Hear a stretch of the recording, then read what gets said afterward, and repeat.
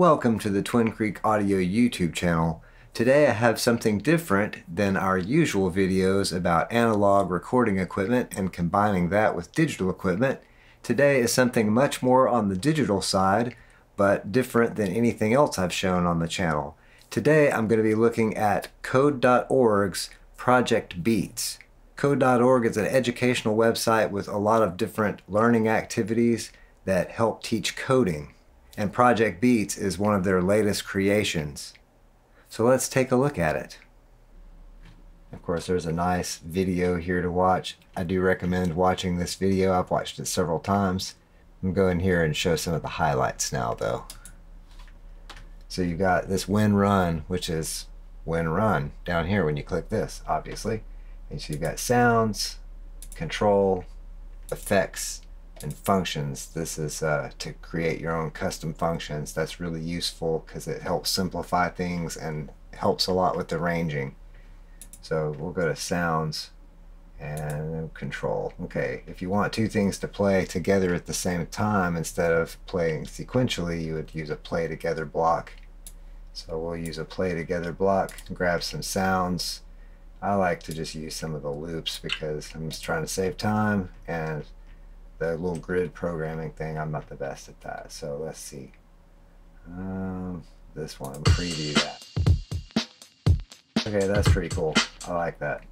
So we'll get another sound, play notes. We have those play together at the same time. And I like a good Rhodes sound.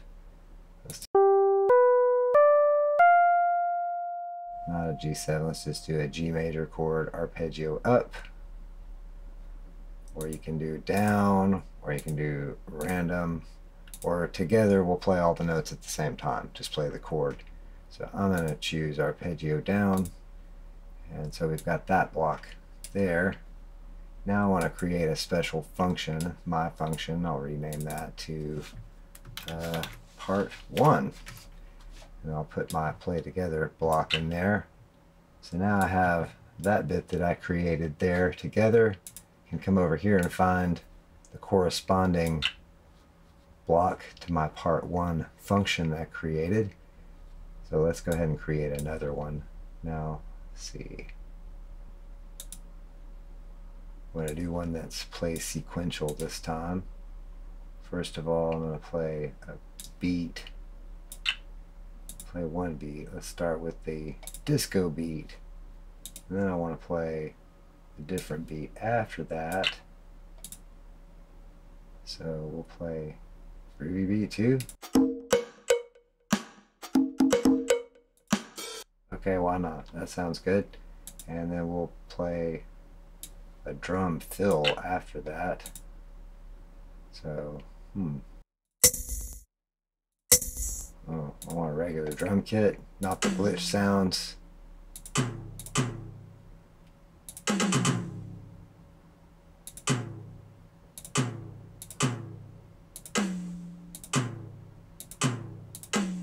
Some kind of random tom fill with a cymbal crash here and there and maybe a ride cymbal thrown in, open hi-hat there, see. Okay, that'll work. So we've got this, and then I want to put something else with it, another play notes, or, I don't know, we'll just do another loop. If we want to get rid of that, we just drag it back over here and that's gone. Another one of these play loop want it to play at the same time as this sequence, so I'm going to put it here instead of inside this block. There's groovy beat, disco beat. Um, let's see, those are all drums, so let's have it play something that's not drums.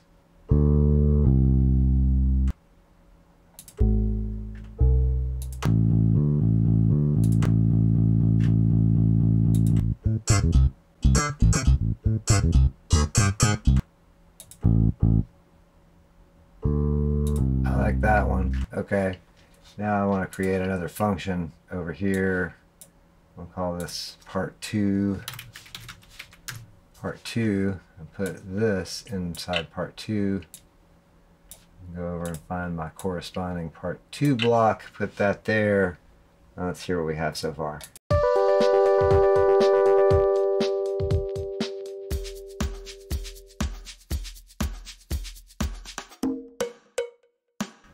See what I did there? I messed that up. I need to put this inside of a play together block.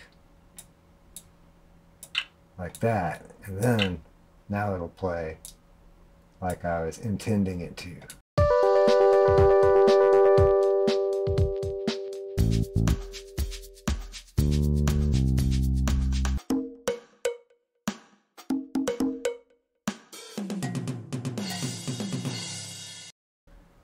Then I can have maybe part one come back again. And then I'm going to go ahead and create a part three. I'm going to and call that part three.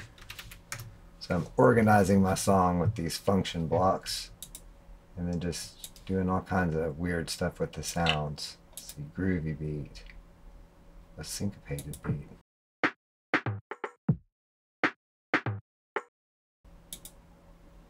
Want that. I want the, uh, oh.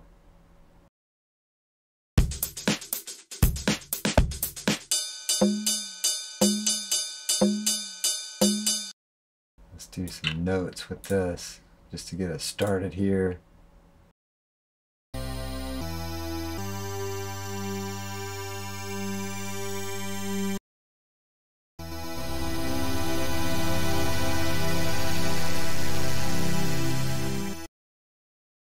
And let's see, what else can we do? We can add effects too. We can change, oh, let's, let's put some delay on that. I kind of like the medium delay setting for part three. Oh, we've got to put part three in over here. So let's hear this now.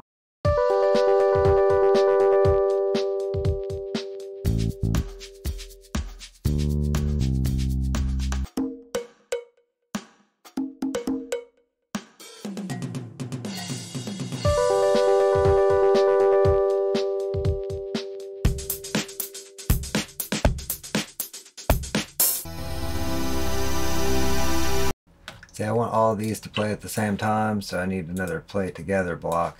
That's kind of important here. Just a very different way of arranging music.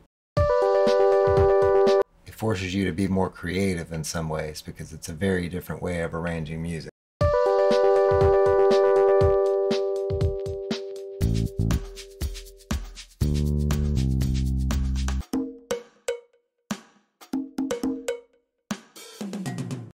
Want the boom bass to play along with that longer, I can use a repeat block here. Put boom bass inside repeat block and then have it play it twice. Okay, the repeat block needs to be inside play together, but not inside play sequential, like this, I think.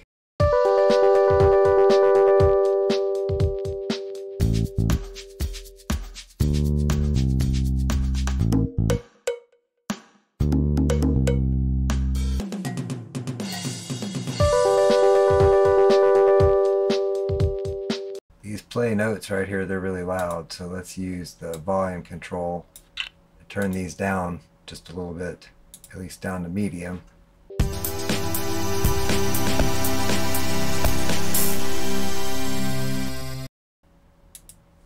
Cool. It's kind of a lot of fun.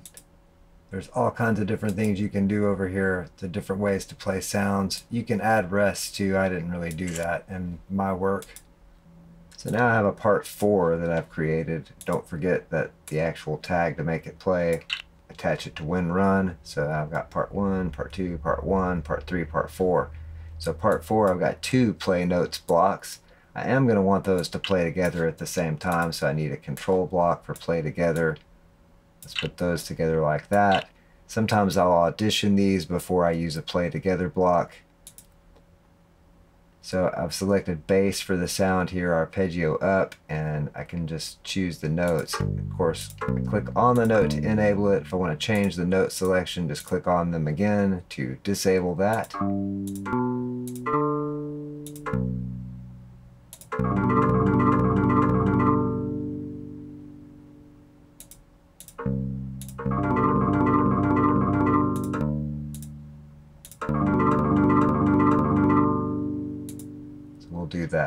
Let's see what this sounds like now.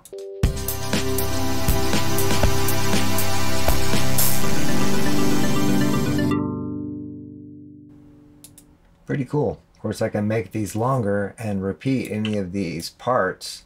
I find it easier to do the repeat box this way unless it's part of an arrangement like it is in this block. But I can put part 4 inside a repeat block over here and thereby repeat the entire part 4 however many times I want. In this case just two because I don't want this to get too long. Another thing you can do in the control category here is you can make a trigger.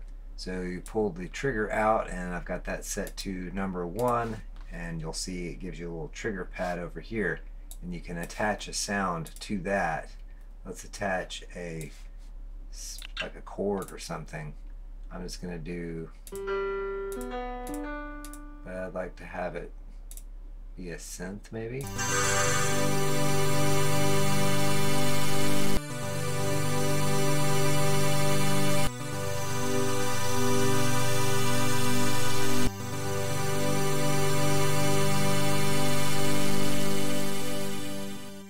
So there you have it, a pretty cool little sequence with some loops and a trigger.